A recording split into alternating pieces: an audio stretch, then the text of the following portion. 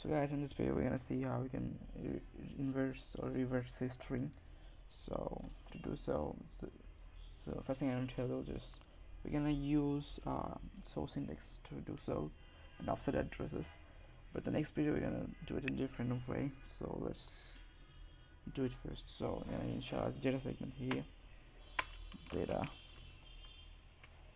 Let's name the string msgdb so I hope you have already know how to declare a string.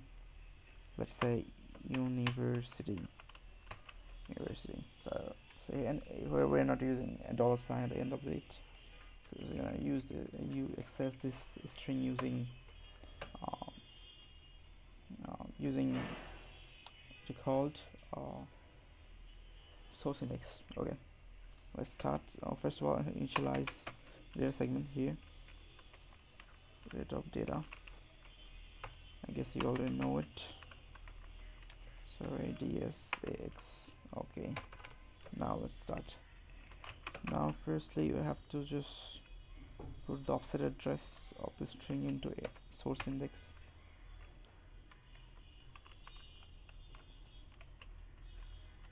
Okay now now we have to initialize the counter register cx by 11 so if you see how many characters are here 3 6 9 10 so we have to we have 10 characters and that's why we have to run it one times more 11 times.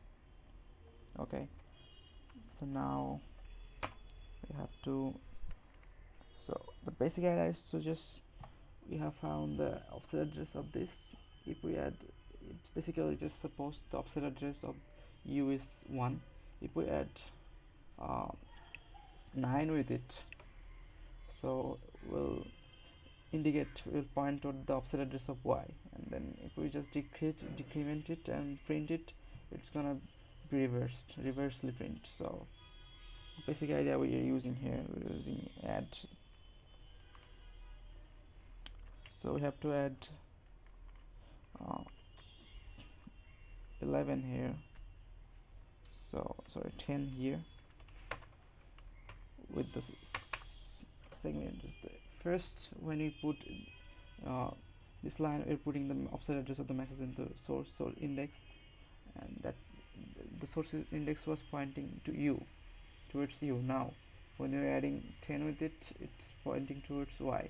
So now we have to print from y to u using loops and we're going to decrement the source index.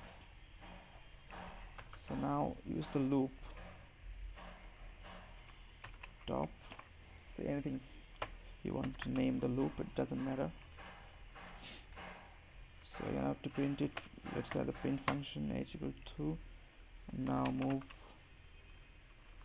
dx so if you want to print something you have to move that into dx and you have to use uh, third bracket that means the address of the source index. Uh, that total means the address of the source index and source index is 16 bit register so you have to use dx if you use dl it's gonna show as a zero. So so you have to each time it prints uh, a character you have to decrement the value of si so dec is i source index now.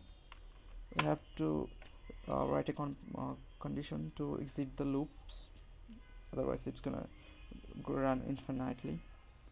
Uh, compare si with 0 if somehow source index is 0 then we will terminate the loop.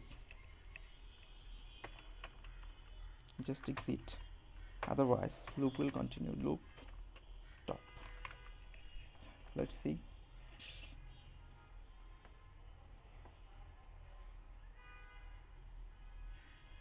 So oh, there's a problem. All right. It shows us nothing. So let's have a look what is the problem. So we haven't used the DOS return which is int 21h so guys there was a bit of problem so let's run it again. So now it. Shows in the reverse form. So that's how we can reverse a string. Or if you don't use this